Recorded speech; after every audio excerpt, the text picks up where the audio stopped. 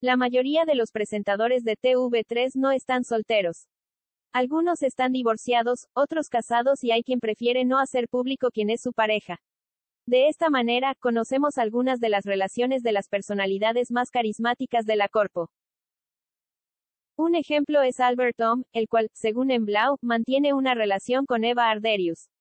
Ella es una conocida periodista que trabaja en BTV donde es presentadora y jefa de informativos. O el caso de Ricardo Stroll y Gemma Tarragó que, tal como afirmó el medio citado anteriormente, están esperando su segundo hijo.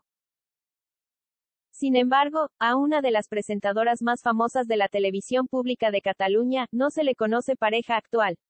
Estamos hablando de Elena García Melero, conductora del programa Totes Mo. ¿Está Elena García Melero enamorada?